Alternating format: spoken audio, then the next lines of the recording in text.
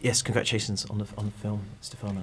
Um, I was interested to know first of all what attracted you to the project, and bearing in mind, I suppose, what could be viewed as something thematically quite similar to your work on Gomorrah. Were you worried about trying to distinguish or create a different voice for this film? Yeah, I, I, I was involved uh, early in the project when uh, uh, Carlo Bonini and Giancarlo De Cataldo start to wrote the book. So I, I read uh, a first draft of the book because I already worked with uh, both of them. Um, Giancarlo De Cataldo is the writer of uh, Romanzo Criminale, that was a TV show I made for Sky, and um, Carlo Bonini he wrote the book uh, All Cops Are Bastard. That was my first feature, so I'm friend with them.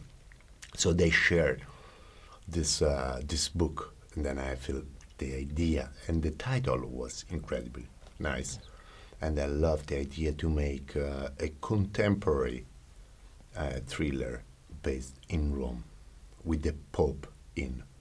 That I mean, it's quite uh, original, Yes.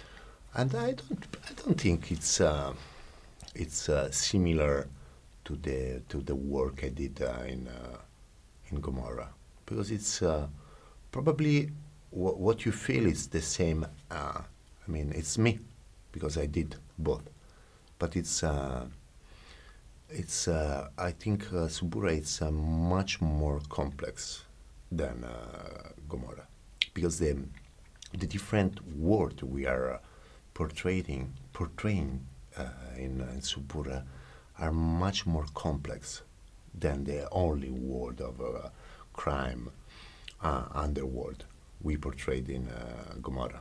Right, I see. Yes. Do you?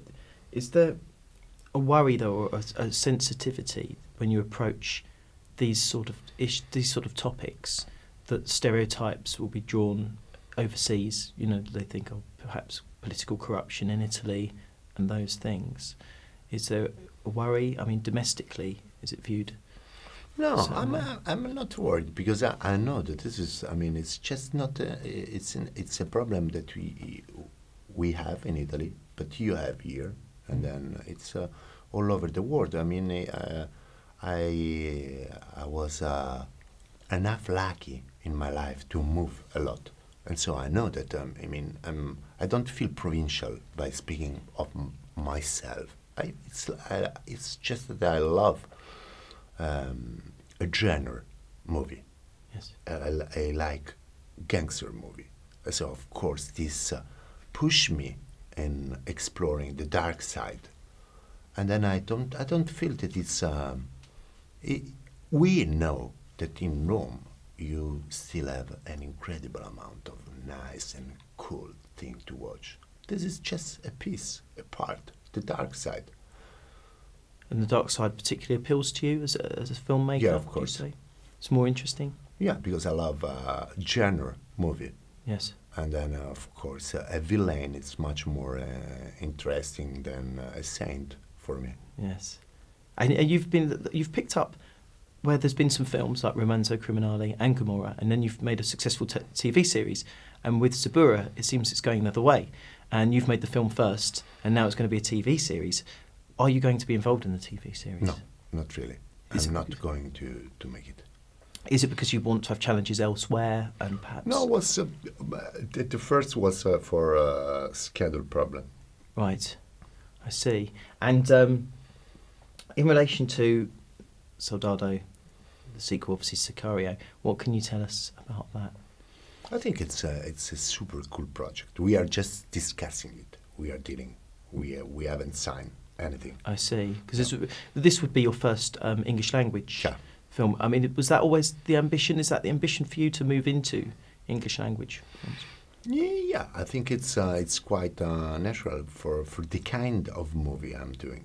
Um, and you can't say anything about it because rumour has it that Emily Blunt isn't involved in Soldado. No, because it's it's not really a sequel. It's uh, more, and then the idea of the producer is to make uh, an anthological uh, series of movies. So, standalone movie with the same character, based on the same world. So it's not a direct sequel of Sicario. I was also interested in in in the current climate and, um, and world, there's a lot of content, online streaming, films, a lot of films coming out. The schedule's very full.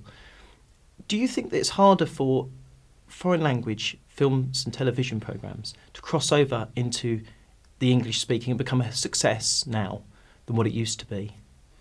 You mean just by dubbing or Oh, by not- remaking? No, no, by have, retaining the original and having subtitles. Whereas, do you think there's not so many that are crossing through? They're struggling to to make a success overseas because there's so much content now. People have so much to distract them. There's so much to see. That it's harder to have those crossover like A Life Is Beautiful and things like that, and Amelie. No, I think that uh, uh, genre helps uh, a film like Suburra or TV show like Gomorrah to come to become uh, appealing for an international uh, audience because, of course, uh, in uh, they are a, a, perfect balance between uh, uh, exoticism because they are exotic. They told you about an incredible, strange world, but still they are done by using a common code of the genre of the gangster movie. And so I think I think that this helps this kind of production to become in, interesting for uh, an international audience. And for you, being involved in television and film, which do you think is better? Where does your heart sit? I I feel comfortable with uh, both. Uh, I think it depends on, on the idea you have, Yeah. on, on the story you have. For example, uh, Suburra was super complicated for me to make a movie on, on a such complex book. So in this case, uh, of course, it's it's absolutely natural to go to a TV show where you have more time to explore uh, many characters uh, or uh, uh, other bits of the story that we lost in the movie. Thank you very much for your time, Thank you.